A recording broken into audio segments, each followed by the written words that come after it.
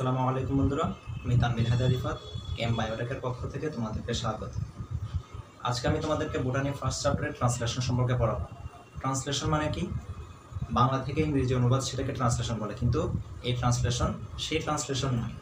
এই ট্রান্সলেশন হচ্ছে বায়োলজি একটা টার্ম ট্রান্সলেশন কাকে বলে? আমরা জানি যে ট্রান্সক্রিপশন প্রক্রিয়ায় ডিএনএ থেকে কোডগুলো ট্রান্সক্রাইব হয়ে এমআরএনএতে রূপান্তরিত হয়। এমআরএনের মধ্যে কোড এরপর ওই এমআরএনএ থেকে রাইবোজোম টিআরএনএ ওই এমআরএনএ ব্যবহার করে যে প্রক্রিয়ায় পেপটাইড শিকল তৈরি করা হয় অ্যামাইনো অ্যাসিড পরস্পর সংযুক্তির মাধ্যমে, তাকে বলা হয় ট্রান্সলেশন অর্থাৎ সহজ কথা যদি বলি এমআরএনএ থেকে যে প্রক্রিয়ায় প্রোটিন তৈরি করা হয়, তাকে বলা হয় ট্রান্সলেশন এই ট্রান্সলেশন প্রক্রিয়ার জন্য কী কী প্রয়োজন হয়?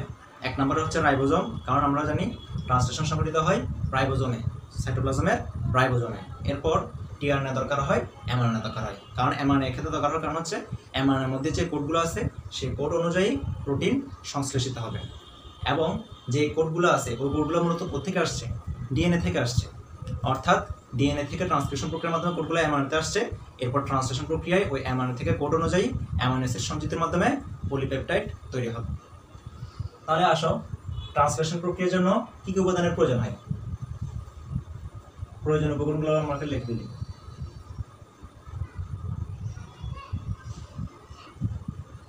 এক নাম্বার যেটা প্রয়োজন হবে, রাইবোজোম। কারণ ট্রান্সলেশন প্রক্রিয়া সংঘটিত হয় রাইবোজোমে। এই রাইবোজোমের মধ্যে টিআরএনএ এবং এমআরএনএ সংযুক্তির জন্য আলাদা জায়গা রয়েছে। রাইবোজোমের মধ্যে টিআরএনএ এবং এমআরএনএ সংযুক্তির জন্য আলাদা জায়গা রয়েছে।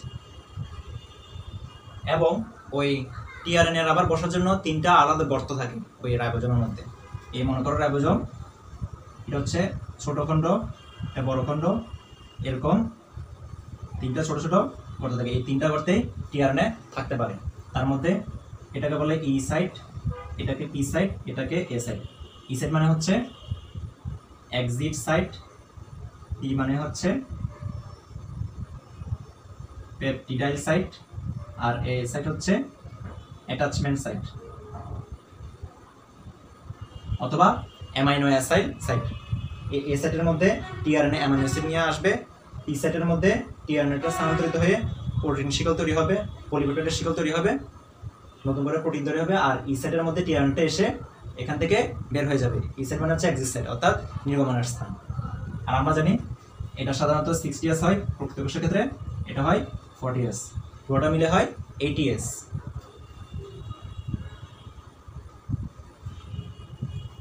এরপর দুই নম্বর যেটা প্রয়োজন টিআরএনএ ঠিক আছে? টিআরএনএ দেখতে কেমন?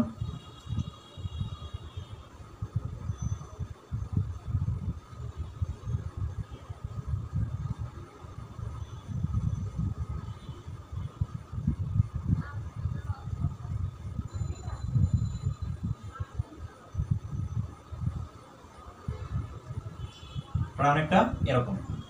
যেখানের মধ্যে এখানে থাকে অ্যান্টিকোডন, আর এখানে থাকে কোডন। এই কোডনের মধ্যে মূলত অ্যামাইনো অ্যাসিড সংযুক্ত হয়, ঠিক আছে? আর এখানে যে অ্যান্টিকোডনগুলো আছে, সেগুলা এখানে যে এমআরএনটা থাকবে, এখানে মূলত এমআরএনটা ব্যবহার থাকে। এমআরএনের কোডনের সাথে এই অ্যান্টিকোডনটা মিলে হাইড্রোজেন বন্ড তৈরি করে। তাহলে টিআরএনটা দেখতে অনেকটা এরকম। এটা হচ্ছে ক্ষুদ্র আরএনএ। এরপর গেল টিআরএনএর পর আসছে এমআরএনএ ঠিক আছে? এমআরএনএ কীরকম? এমআরএনএ হচ্ছে একটা লম্বা চেইনের মতো, যেখানে শুরুতে থাকে সেভেন জি ক্যাপ আর লাস্টে থাকে পলিয়ে টেইল ঠিক আছে? মাঝখানে বিভিন্ন পোর্ট থাকে। চার নাম্বার যেটা প্রয়োজন অ্যাক্টিভেটিং এনজাইম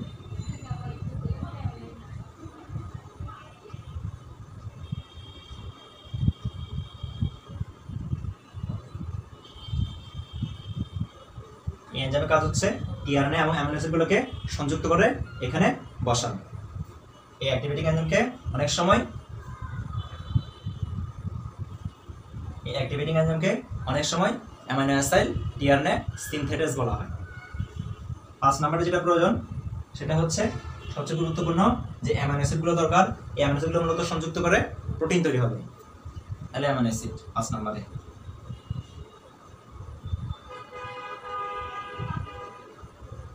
অ্যামাইনো অ্যাসিড কত ধরনের হতে পারে বিশ প্রকার হতে পারে বিশ প্রকার। আমাদের দেহে মূলত ছাব্বিশ প্রকার পাওয়া যায়, কিন্তু নর্মালি অ্যামাইনো অ্যাসিড হচ্ছে বিশ প্রকার। এই বিশ প্রকারের অ্যামাইনো অ্যাসিড বিভিন্ন কম্বিনেশনে সংযুক্ত হয়ে বিভিন্ন ধরনের প্রোটিন তৈরি করতে পারে। তাহলে মূলত পাঁচ ধরনের উপকরণই আমাদের ট্রান্সলেশনে দরকার হয়। এবার আসো, আমরা ট্রান্সলেশন কীভাবে হয় সেটা দেখাবো। ঠিক আছে? বর্ণনার সুবিধার জন্য ট্রান্সলেশনকে তিনটি ভাগে ভাগ করা যায়। প্রথম ধাপ হচ্ছে সূচনা ধাপ, দ্বিতীয় ধাপ হচ্ছে পলিপেপেড চেনের বৃদ্ধি, আর তৃতীয় ধাপ হচ্ছে সমাপ্তিকরণ ধাপ।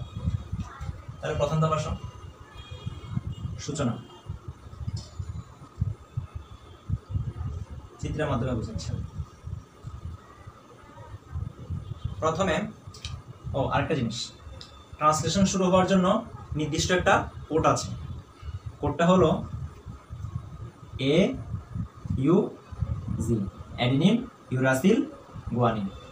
এই কোডটা যখন অ্যামাইনোর মধ্যে পাওয়া যাবে, তখনই মূলত আমাদের ট্রান্সলেশন প্রক্রিয়াটা সংগঠিত হবে। আর সমাপ্তিকরণের জন্য কোড নির্দিষ্ট, তবে সেটা তিন ধরনের হতে পারে।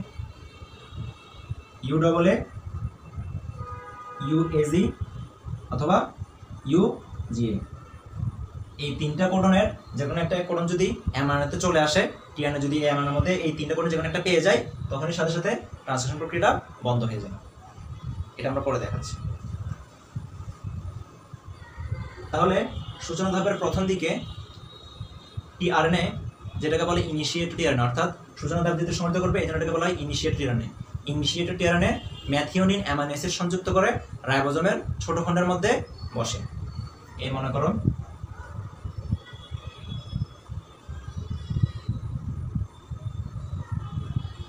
রাইবোজোমের ছোট খণ্ড।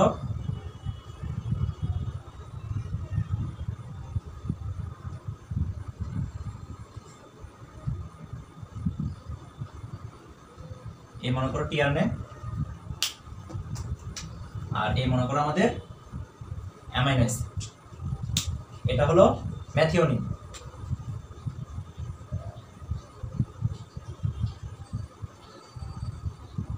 ঠিক আছে?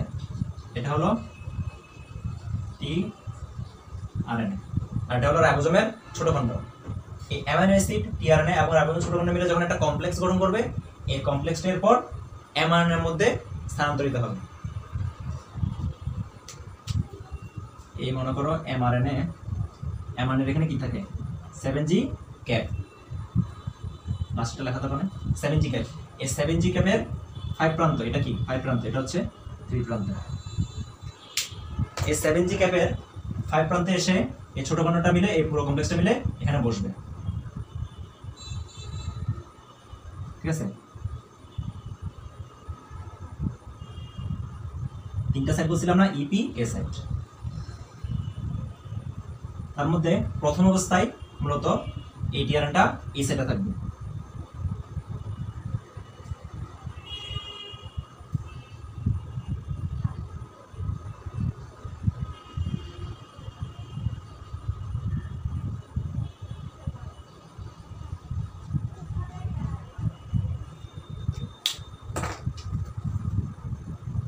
ঠিক আছে? এই সেভেন জি ক্যাপের মধ্যে এই পুরো কমপ্লেক্সটা টিআরএনএ অ্যামাইনো অ্যাসিড এবং ছোট কণা সহ পুরো এটা একটা কমপ্লেক্স গঠন করে। এই কমপ্লেক্সটা যখন সেভেন জি ক্যাপের ফাইভ প্রান্ত ধরে সামনের দিকে অগ্রসর থাকে, এটা এটা জেনে রাখো, এটা হচ্ছে যে মূলত আমাদের এমআরএনএ ঠিক আছে? এরপর এই কমপ্লেক্সটা যখন সেভেন জি ক্যাপের ফাইভ প্রান্ত ধরে ক্রমান্বয়ে থ্রি প্রান্তের দিকে অগ্রসর থাকে, কেন অগ্রসর থাকে? যতক্ষণ না পর্যন্ত আমাদের কি? এই ইউজি এই কোডনটা পাওয়া যাচ্ছে। এটা হচ্ছে সূচনা কোডন। এই কোডনটা না পাওয়া পর্যন্ত সামনের দিকে অগ্রসর থাকবে। কোনো প্রকার প্রোটিন তৈরি হবে পলিপেপটাইড চেন তৈরি হবে না। পলিপেপটাইড সংযুক্ত হবে না। এই কোডটা যখনই সাথে সাথে পেয়ে যাবে, তারপর বড় খণ্ডটা উপরে এসে বসবে। মনে করো পেয়ে গেল। যখনই পেয়ে যাবে, এই বড় খণ্ডটা এখানে এসে বসবে। বসার পর কি হবে? এই টিআরএনটা এই সাইড থেকে ই সাইডে চলে যাবে। কারণ আমরা জানি এই সাইডে পলিপেপটাইডের চেন তৈরি হয়।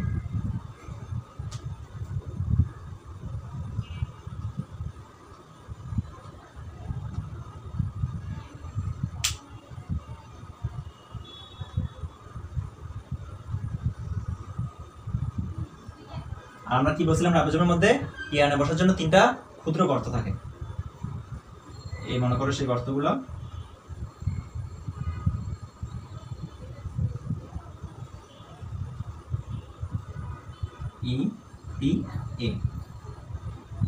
এই অবস্থায় টিআরএনটা পি সাইডে চলে আসবে।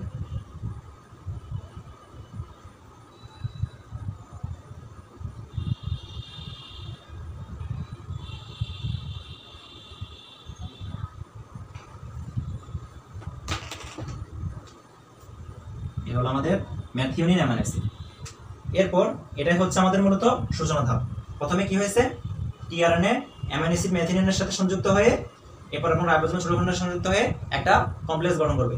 এই কমপ্লেক্সটা অ্যামাইনের ফাইভ প্রান্তের মধ্যে যুক্ত হয়ে সামনের দিকে অগ্রসর হতে থাকবে। যতক্ষণ পর্যন্ত এইউজি ঠিক আছে? এই ইউজি কোডন পাওয়া যাচ্ছে। এই ইউজি কোডন পাওয়ার সাথে সাথে বড় খণ্ডটা এখানে এসে যুক্ত হবে। এরপর পলিভেটেড চেনের কাজ শুরু হবে। এটা হচ্ছে আমাদের সূচনা ধাপ। এরপর এই ইউজি কোডন পাওয়ার পরপরই, এরপর যতগুলো কোডন আছে, ওই কোডন অনুসারে অ্যামাইনোসিড এখানে কোড হবে। তাহলে এ হলো আমাদের সূচনা ধাপ। এবার আসব আমরা বর্ধিত গরম ধাপ, অর্থাৎ পলিভেটেড চেনের বৃদ্ধি।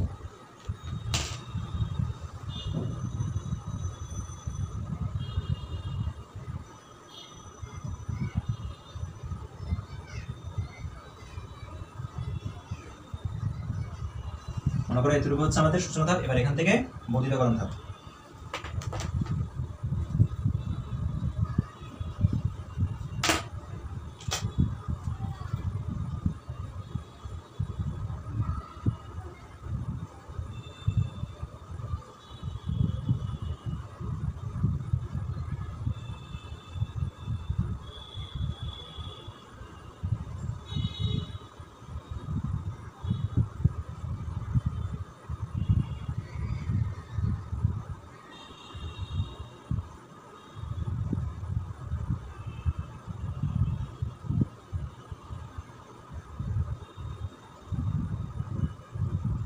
এ হলো রাইবোজোমের বড় খণ্ড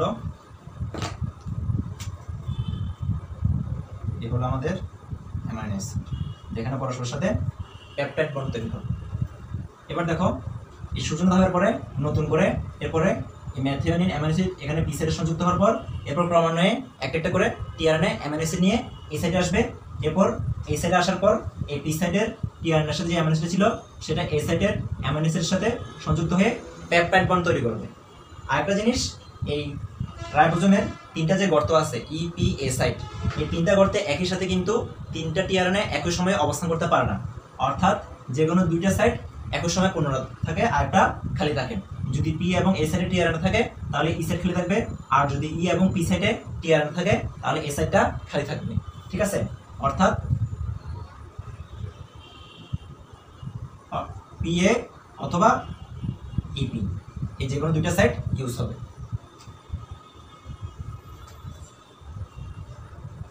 এভাবে ক্রমান্বয়ে টিআরএনএ অ্যামিনো অ্যাসিড নিয়ে পলিপেপটাইড চেনটা বৃদ্ধি করতে থাকবে। আর এক্ষেত্রে পলিপেপটাইড সংযুক্তির জন্য যে শক্তির প্রয়োজন হয়, সেটা আসে জিটিপি হাইড্রোলাইসিসের মাধ্যমে। কি বলছি? যে শক্তিটার প্রয়োজন হয়, সেটা আসে মূলত জিটিপি হাইড্রোলাইসিসের মাধ্যমে। তো খেয়াল করো, এবার যখন এ মনে করো পি সাইডের টিআরএনটা যে অ্যামিনো অ্যাসিডের শক্তি ছিল, সেটা এ সাইডের টিআরএনের অ্যামিনো অ্যাসিডের সাথে প্যাটের বন্ধরা যুক্ত হয়ে গেছে। যুক্ত হয়ে এরপর এই পি সাইডের টিআরএনটা কোথায় যাবে? এটা এ সাইড থেকে এ সাইডে আসবে। কি বলছি? পি সাইডের টিআরএনটা ই সাইডে চলে আসবে। কারণ ই সাইড মানে হচ্ছে এক্সিট বা নির্গমনের স্থান। অর্থাৎ ই সাইডে আসার পর এটা ক্রমান্বয়ে এখান থেকে বের হয়ে যাবে। এটার কীরকম হবে?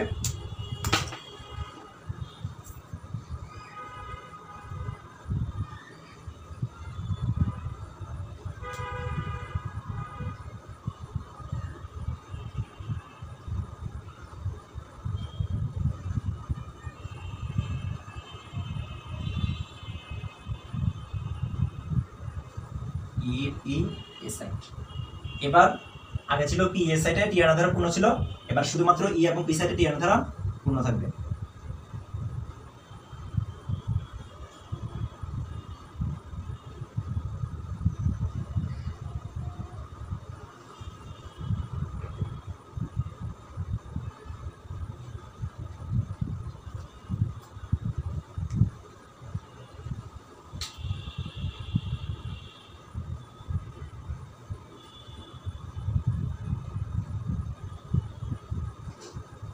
জিনিস খেয়াল করো, এই টিআরএনএর মাথার উপর কিন্তু এখন আর অ্যামিনো অ্যাসিড সংযুক্ত নেই। এই টিআরএনএর মাথার উপর এখন আর অ্যামিনো অ্যাসিড সংযুক্ত নেই। অর্থাৎ ই সাইডে যখন টিআরএন অবস্থান করবে, তখন তার সাথে অ্যামিনো অ্যাসিডের কোনো সম্পর্ক থাকবে না। কারণ ই সাইডে থাকার অর্থ হচ্ছে, এই টিআরএনটা এখন এই নির্গমন স্থান দিয়ে বের হয়ে যাবে। এবার আবার ক্রমান্বয়ে যখন আবার এই নতুন টিআরএনএ এই সাইড আসবে, ই সাইড সম্পূর্ণ ফাঁকা হয়ে যাবে।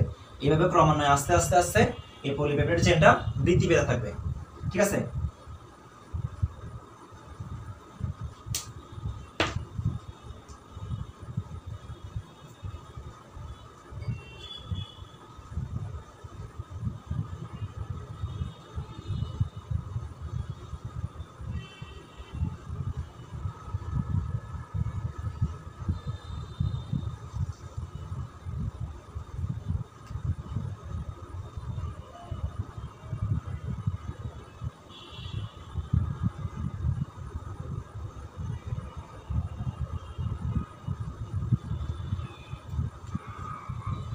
এভাবে ক্রমান্বয়ে অ্যামিনো অ্যাসিড সংযুক্তির মাধ্যমে পলিপেপটাইড চেন আস্তে আস্তে এ বড় হতে থাকবে ঠিক আছে?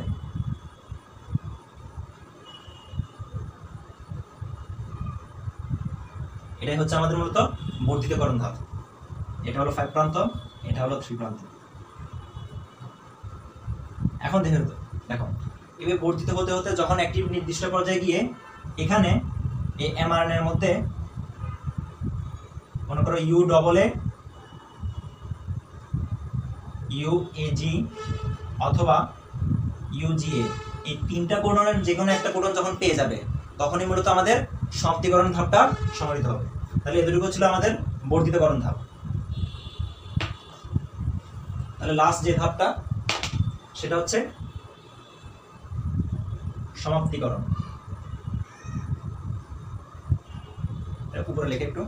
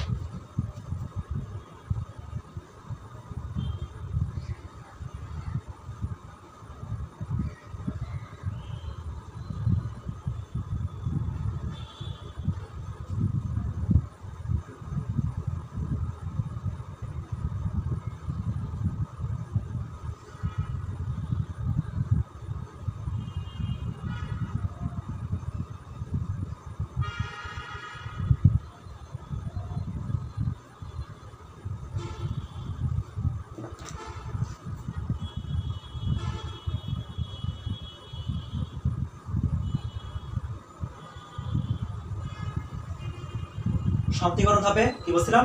যখনই এই ইউ ডবল ইউএসি অথবা ইউজিএ এই তিনটা কোডনের যে কোনো একটা কোডন এই সাইডে চলে আসবে, এই সাইডে চলে আসবে, তখনই আমাদের সমাপ্তিকরণ ধাপটা সংগঠিত হবে। এই সাইডে আসলে কি হবে? তখন আর নতুন করে কোনো টিআরএনএ এই সাইডে প্রবেশ করবে না। তখন মূলত একটা জিনিস সংযুক্ত হবে, সেটার নাম হচ্ছে প্রোটিন রিলিজিং ফ্যাক্টর কি বলছি? প্রোটিন রিলিজিং ফ্যাক্টর এই প্রোটিন রিলিজিং ফ্যাক্টর এই সাইডে আসবে এই সাইডে আসলে কি হবে?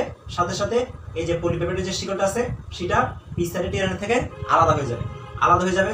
তারপর এখানে যে টিআরএনএগুলো আছে, রাইবোজোমের যে খণ্ডগুলো আছে এবং যে অ্যামান্ড আছে, সবগুলো পরস্পর থেকে পৃথক হয়ে যাবে। এই পৃথক হয়ে যাওয়ার সাথে সাথে আমাদের ট্রান্সলেশন প্রক্রিয়ার সমাপ্তি ঘটবে।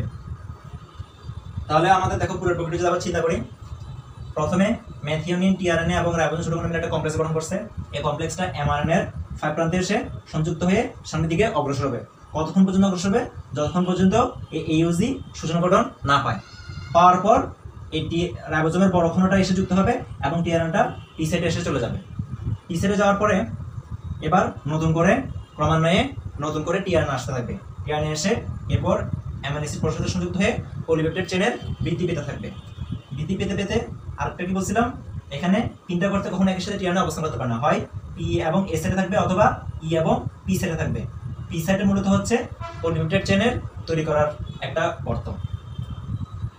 এভাবে ক্রমান্বয়ে বৃদ্ধি পেতে পেতে এই পলিপেপটাইড যখন পলিপেপটাইড চেনটা যখন বৃদ্ধি পেতে থাকবে এবং সামনের দিকে অগ্রসর হতে যখন U double A U UAC অথবা ইউ ইউজিএ এই তিনটা করে যেন পেয়ে যাবে, তখনই আমাদের সমাপ্তিকরণ সংগঠিত হবে। সমাপ্তিকরণ সংগঠিত হওয়ার সময় যখন এই সাইডের মধ্যে এই তিনটা কোডনে যে কোনো একটা কোডন প্রবেশ করবে এমআরএনের এই তিনটা কোডনে যখন একটা কোডন প্রবেশ করবে প্রবেশ করবে, তখন প্রোটিন রিলিজিং ফ্যাক্টর নামে একটা পদার্থ যুক্ত হবে। কোন সাইডে এ? সাইডে এ। সাইডে যুক্ত হওয়ার পর তখন কি হবে?